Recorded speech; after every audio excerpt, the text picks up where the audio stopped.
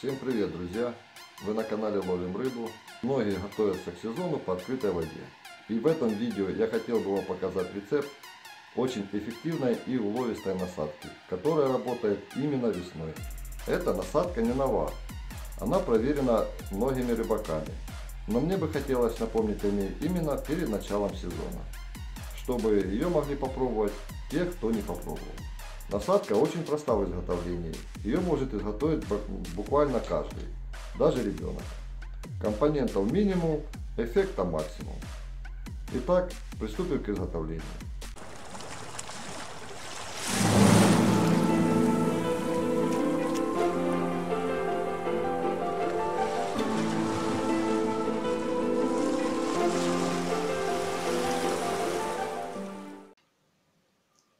Для начала берем обычное куриное яйцо и отделяем белок от желтка.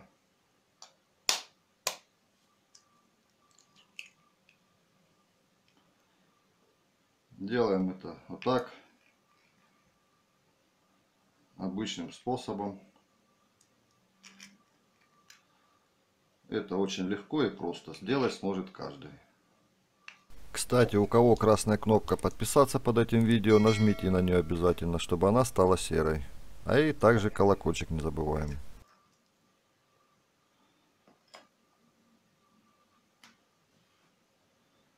Вот такое количество белка у нас получилось, но он немножко густоватый.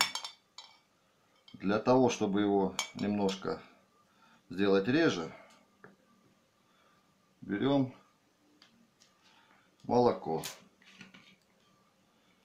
И добавляем одну столовую ложку молока.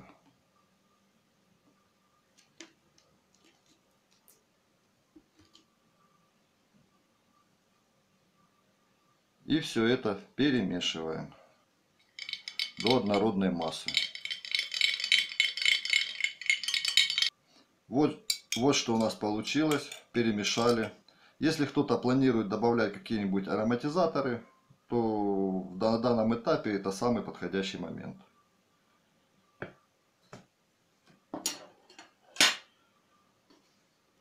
Белок стал немного жиже. Теперь мы его убираем в сторонку. Дальше мы берем обычную губку, которой моем посуду. Можно также взять э, любой поролон, но главное, чтобы поры в нем были как можно крупнее. Как... Дальше мы отрезаем шириной где-то в один сантиметр губку.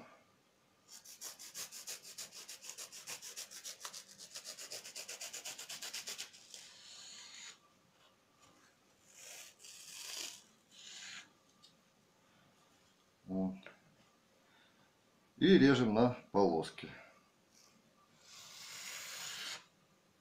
Для примера я взял губку с синим поролоном, но лучше взять белый либо желтый.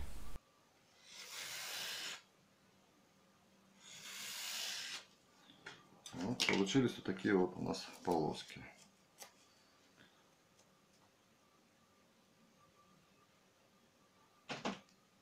Далее нарезаем заготовки, которые уже будут цепляться на крючок.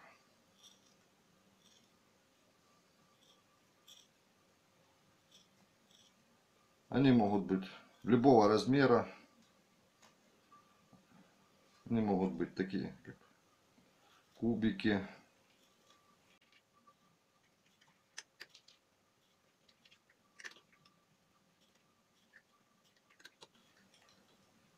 Они могут быть разной формы.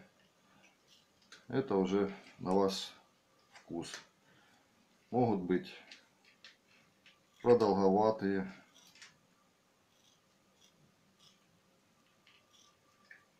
Могут быть прямоугольной формы.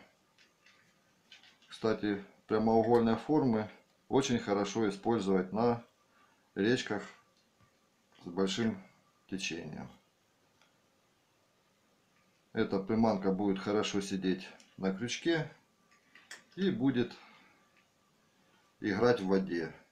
На что, я думаю, рыба обязательно соблазнится. Также можно нарезать в форме тех же опарышей. Такие вот продолговатые.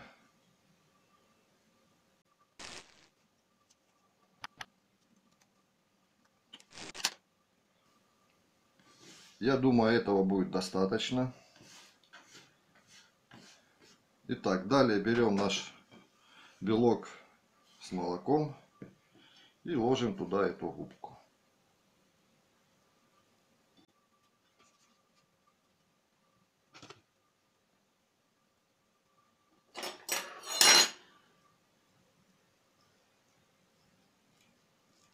Перемешиваем,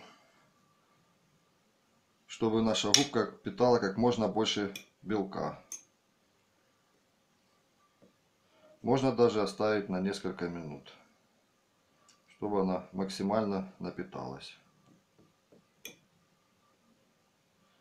Как я уже говорил, данная насадка целесообразно применять именно весной, так как в это время года не так жарко, а как вы знаете, яйцо очень быстро портится при плюсовой температуре. Если будете применять его летом, то держите эту насадку в прохладном месте, в теньке, либо же в холодильнике. Еще один нюанс э, эффективности применения весной заключается в том, что весной э, рыба очень хорошо реагирует на белок. На эту насадку очень хорошо реагирует карп, карась, плотва даже берет. Даже были случаи поимки на эту насадку амура. Итак, наш поролончик напитался белком. И теперь мы его помещаем в отдельное блюдо.